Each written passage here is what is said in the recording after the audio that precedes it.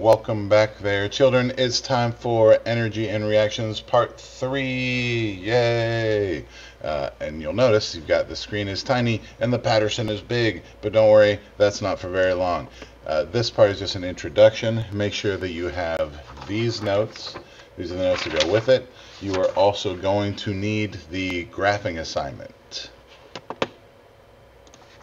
That's the uh, endothermic and exothermic plotting uh, graphs uh, with the graphs that you've already done before getting to this point. After you watch this video, then you'll be doing the conclusion questions for the hot and cold pack lab. Because as you noticed, uh, these graphs at the bottom of that lab are the graphs that we'll be doing in the notes today.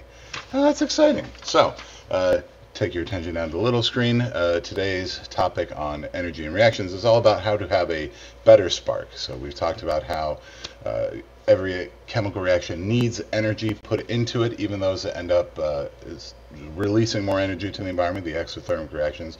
They all need energy to start the reaction, and that's because we need to break those initial bonds.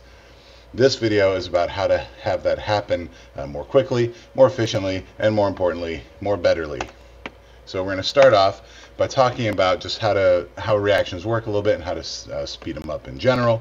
So first thing you're actually going to do is watch this video, which should come up next in the playlist if editing Patterson did his job. If not, you'll just click on it in the Google Classroom assignment. You're going to start at a time code 13 seconds. That'll just skip the TED intro. And you're only going to watch till 136. When you hit 136, stop, and then you'll go back to the next part of this video with me standing over there uh, with the big screen. Yay, how fun. Yeah, go watch the video.